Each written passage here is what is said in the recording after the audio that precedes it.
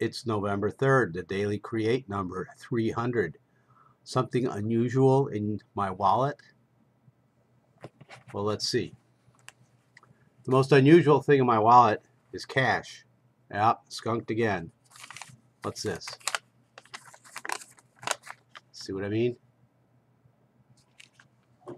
Any questions?